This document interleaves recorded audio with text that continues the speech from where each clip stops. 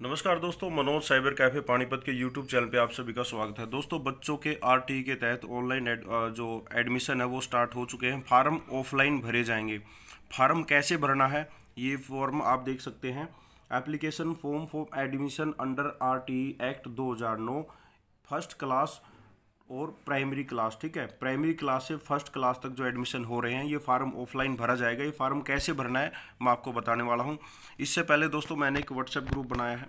तो जो सिर्फ़ बच्चों के एडमिशन के लिए ही मैंने यहाँ पे किया है, जो आर के तहत और एक सौ चौंतीस के जो एडमिशन होंगे, उसके बारे में यहाँ पूरी जानकारी मैं यहाँ पे ग्रुप में दे रहा हूँ और आप यहाँ पे देख सकते हैं कि वीडियो मैंने यहाँ पे बना के पहले भी डाली है कि बच्चों के जो फ्री एडमिशन हो रहे हैं, उसका क्या प्रोसेस है, कौन से डॉक्यूमेंट लगेंगे, पूरी जानकारी मैं यहाँ पे दे चुका हूँ। इसके अलावा आप मेरा यूट्यूब चैनल सब्सक्राइब करें, पूरी जानकारी आपको यहाँ पर दी जाएगी और अभी फ़िलहाल ये अप्लीकेशन फार्म है, ये मैंने ग्रुप में भी डाल दिया है और इस फार्म को आपने भर के स्कूल में जमा कराना है। तो यहाँ पे क्या है ये एप्लीकेशन फार्म आपका है और यहाँ पे आप देख सकते हैं application form for pre primary to first class ठीक है? यहाँ पे बच्चे की फ़ोटो लगेगी और इसके अलावा जो एकेडमिक ईयर है 2022-23 के लिए फार्म आपका, ठीक है? और सबसे पहले एडमिशन नंबर है, ये ऑफ़िस यूज़ के लिए है। रिलीजन कास्ट ये आपको यहाँ पे फिल करनी है कैटेगरी क्या है और आप हिंदू हैं, मुस्लिम हैं, सिख है, ईसाई है, ठीक है? और जहाँ पे आप एडमिशन फार्म जमा करा रहे हैं, वहाँ के स्कूल की डिटेल आपको यहाँ पे फिल करनी है और आपको यहाँ पे इस पर भी टिक लगाना है, आपकी कैटेगरी क्या है, ठीक है? अगर आप दूसरी कैटेगरी से बिलोंग करते हैं। अब जो फार्म है, नीचे की तरफ़ दिया गया है, यहाँ पे आप देख सकते हैं name of the pupil in full blank ठीक है? बच्चे का यहाँ पे नाम फ़र्स्ट नेम, लास्ट नेम आपको डिटेल में यहाँ पे फिल करना है। Name of the proposed parents to be entered into school. Record, it will not be change later in block letter, ठीक है? जो बच्चे का नाम है, आपके डॉक्यूमेंट में है आपके पास तो आपको यहाँ पे उसको फिल करना है। बच्चे की डेट ऑफ़ बर्थ यहाँ पे फिल करनी है। यहाँ पे डेट आपको देखो मैनुअल लिख रही है और वर्ड में आपको यहाँ पे मेंशन करनी है। प्लेस ऑफ़ बर्थ कहाँ पे जन्म हुआ है? गाँव में, तहसील में, जिला, स्टेट जो भी है, वो आपको यहाँ पे फिल करना है, ठीक है? एज 31 मार्च 2022 के अनुसार बच्चे की एज क्या हो रही है आपको फिल करनी है। फादर का पूरा नाम मदर का पूरा नाम आपको यहाँ पे फिल करना है। पेरेंट्स ऑफिशियल एड्रेस और कंप्लीट रेजिडेंटल एड्रेस आपको यहाँ पे फिल करना है। Aadhaar number senior serial number और child the ration card P P पे आपको डिटेल भरनी है। राशन आपका Aadhaar card number oblique family ID number आपको यहाँ पे फिल कर देना है। और इसके अलावा जो एनुअल इनकम है यहाँ पे आप देख सकते हैं एनुअल इनकम ये आपको फिल करनी है जो आपकी आ, आपने लिखवा रखी है, आपकी फैमिली आईडी में आपकी लिखी हुई है। एक लाख अस्सी हज़ार से ज़्यादा वाले इस फार्म को नहीं भर सकते, उसके अकॉर्डिंग आप चेक कर लें। आपके कॉन्टैक्ट डिटेल आपको यहाँ पे फिल करनी है contact number email ID emergency contact number ठीक है? इसके अलावा जो ग्यारह नंबर पर आपका name of the home town to the parents as per official record in their employment ठीक है? जो आपका एड्रेस है, आपको यहाँ पे फिल करना है।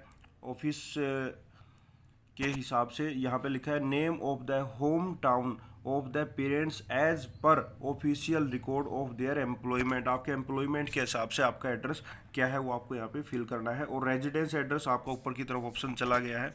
ये ऑप्शन आपका अलग रहेगा।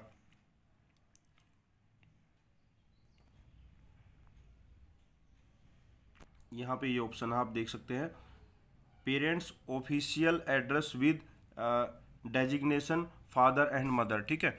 तो यहाँ पे आपको फिल करना है छः नंबर में और आपका जो है ग्यारह नंबर में आपका home town parents as per official record official record के हिसाब से आपका एड्रेस क्या है, वो आपको यहाँ पे मेंशन करना है। मदर टोंग आपकी क्या है, हिंदी इंग्लिश जो भी आपको यहाँ पे फिल करनी है। Whether the pupil belong S C S T yes no आपको फिल करना है, यदि आप एस सी एस टी से बिलोंग करते हैं। और इसके अलावा जो ऑप्शन है fourteen whether the pupil belong to the economic अगर आप ई डब्ल्यू एस से बिलोंग करते हैं तो आपको यहाँ पे येस नो करना है, और उसके लिए आपको जो है सर्टिफिकेट भी आपको जमा करवाना होगा, ठीक है? सर्टिफिकेट आपको ज़रूर देना पड़ेगा उसका।